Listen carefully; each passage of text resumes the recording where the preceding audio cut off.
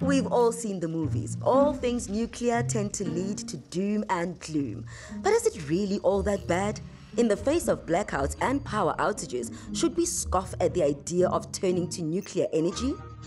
While there are some who support it, seeing it as the key to solving many global environmental issues, there are those who are strongly against nuclear power, saying it's dangerous. And after tragedies like the Chernobyl and Fukushima disasters, it's no secret the main concern of nuclear energy is its safety.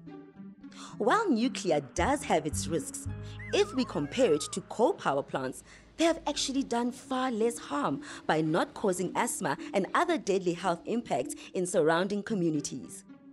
While the disasters have been scary, they have been limited and contained, whereas the pollution and environmental damage from fossil fuel power has been ongoing and killing far more people every day.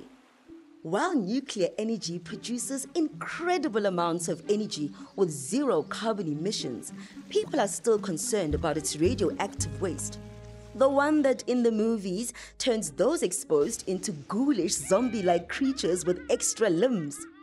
But in reality, there is very little, and it can be stored safely by burying it underground, far away from people and other life. As for its cost, nuclear power plants may be pricier in the beginning, but over time they can be comparable to renewables and far better than fossil fuels, although this is also a hotly debated issue.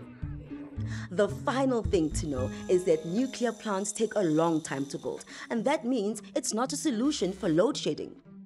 However, many experts argue it is a way to close some of the gaps we'll have in our future renewable energy mix. And that's why South Africa is looking into it for the future.